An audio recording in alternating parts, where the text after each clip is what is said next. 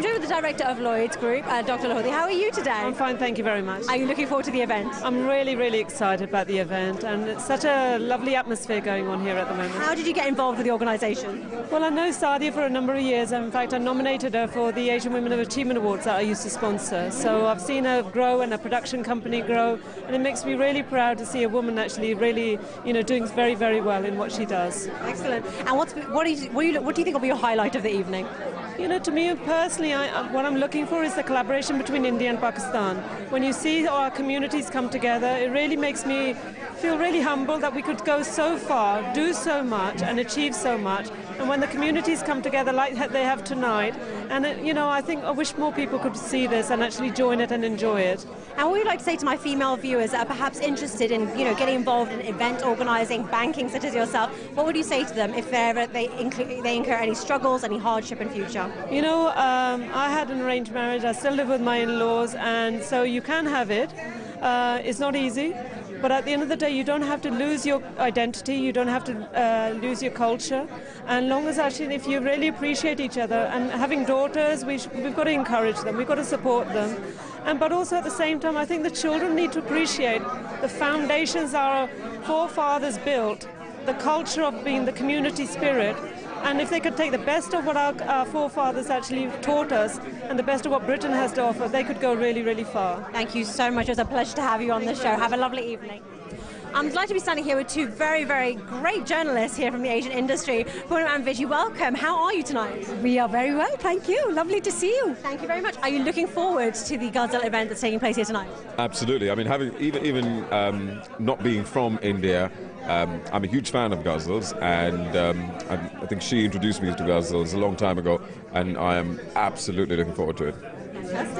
And what are you looking forward to seeing? What, you, what is your highlight? Because obviously they're playing tribute to people like Nusrat Fateh Ali Khan, um, they're playing tribute to Muhammad Rafi. Who are you looking forward to hearing most? I actually had a little chat with the, the, the, the person who is going to sing tonight, uh, Mr. Devdutt Joshi.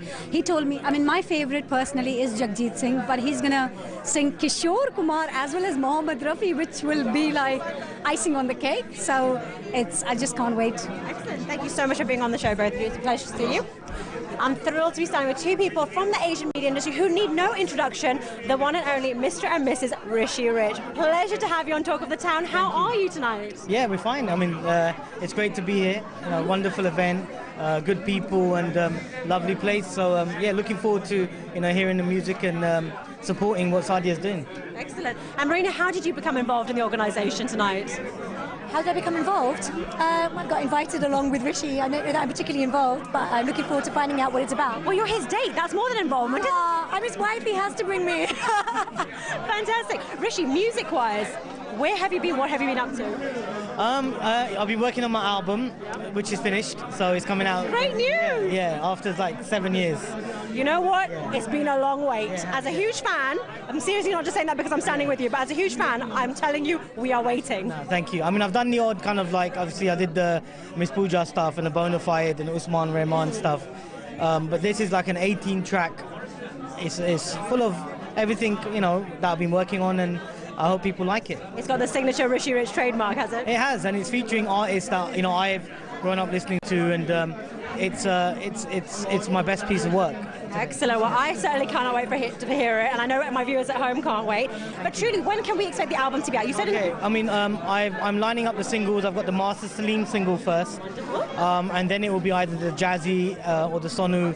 Then there's Shazia, then there's Juggy, then there's Abra, uh, uh, Shazia Manzoor, who else? Um, it's like a, it's like a series of names. Uh, yeah, I mean it's everyone, hunters, and you know there's a lot of people on there. And um, but I, I want to kind of I want to now gradually like introduce the album. So the first single will come out, and then maybe the second, then the album. So I think you know via summer. Yeah. Amazing. I'm now joined with Mehwish, the CEO of Care Pakistan. Mehwish, thank you so much for giving us your time. Thank you for having us. It's an absolute pleasure. Tell me, how did you become involved with Care Pakistan? I've been involved in the charity sector for a long time, and um, we were looking for a solution really to. I've been working in the charity sector for a long time and been getting thousands and thousands of children into schools, but we were looking for a solution that would help us get a million children into school, and we want to do this by 2015. And Care provides a really sustainable model. Mm-hmm. We can we provide education for just one pound a month, and we do this by um, uh, renovating old uh, sort of government uh, schools that have uh, failed, and we sort of save on land costs and um, we save on expensive building costs. So in that way, we're able to provide education to some of the poorest children in the country for just one pound a month. Amazing. Yes. And I'm going to ask you a question now, and I've asked someone else's tonight as well. With charity, and I'm going to be very blunt, and please don't think I'm being insolent in any way, but we often hear so many people raising money for charity, whether it be tsunami victims or for victims of earthquakes, or you know children who want to have an education back home, but it's very expensive for them. And people then question it. They wonder where is their money genuinely going to these causes? What do you have to say to my viewers at home that are perhaps interested and would like to donate money, but are thinking, "Oh, is it really going to go to those innocent children that really want an education?" I would say that um, the proof is in the pudding. Go and see the schools, and they are testament to themselves, really. Where are the schools? If anyone wishes to go. Uh, yeah, absolutely. They are all over Pakistan, but mainly in the Punjab, because that's just where it sort of started from. Um, and because we have such a big task ahead of us, uh, Seema Aziz, the founder of the charity, she's she's based in Punjab, and she sort of started from there and is working her way out. And it's just a matter of funds. Um, we've moved into Sindh, we've moved into Khyber Pakhtunkhwa, and we're planning to just keep on sort of keep expanding. We have 224 schools. We have 165,000 children in these schools. They are testament to what we're doing, and we've been going for a quarter of a century. Wonderful. And where do you see the organisation going now? What's the, what's the future? I know you have a goal by 2015, Yes. but where after that? I think just to keep growing and also just to sustain what we have. We've got a lot of children in our system, and we have to look after them. And what would you like to say to my viewers at home that are perhaps interested in becoming volunteers and getting involved in the organisation themselves? Absolutely. Um, I mean, we have lots and lots of schemes. We have an ambassador scheme. We have people can volunteer at any level. They can get really involved or just involved on the ad hoc basis. They can spread the word. They can donate. Um, you know, there's lots of exciting events. So there's lots of things they can do. And please do visit our website, which is www.carepakistan.org.uk. And there's lots of information on there. And if you can't do anything, then just spread the word. It's a privilege to be standing with a gentleman who needs no introduction. I'm joined with Lord Noon. Welcome. How are you? I'm very well, thank you very much. How are you finding the evening so far? No, it's very good actually. It's a mixed crowd in a sense, and I'm very, I'm delighted to see that lots of Pakistanis and Indians are intermingling with each, each other. It is a great change because I, I hardly see such such sort of a scenario in the in our society, but it's a very good. And I think I congratulate Sadia for uh, organizing this, and I'm very grateful that she has asked me to come and also speak uh, in, on this function. And she's a great lady. I like her very much in a sense that you know she is she is doing a she is an entrepreneur, and their achievers uh, achievers program on Before B4U is extremely successful. How did you get involved with Care UK? Uh, well, Care UK, I'm, I was uh, in Care International UK. I was the director once upon because it's a very large organization. But I believe this care is only confined to Pakistan, while that the care which I'm talking about was international care. So I was the director for some years with them. And where do you see the organisation going now in the future? The, the which organization? Mustang. Well, it will go very well because I think it is handled very well, and the programs which comes on B4U about achievers and all are very credible, credible. And uh, I think if he continues like this, uh, I think he, she has a place in the in the media. Thank you very, very much. I'm delighted to be standing with a lady of the hour. This lady needs no introduction. She's familiar to all of you at B4U. This is the presenter as well as founder of Mustang Productions. I'm joined with the delightful Sadia Siddiqui. How are you, Sadia? And congratulations on tonight being such a great success. Thank you so much. Thank you so much. It's like a little baby of mine, Mustang, and you know I've been wanting to do this launch. It's been long overdue, and um, worked very hard. And I'm so glad you all are here to support it. Well, we're absolutely delighted to be here. And obviously, you're part of the B4U family, so we're going to support you naturally. But it's been a long struggle, no doubt about it. How did you begin with creating Mustang?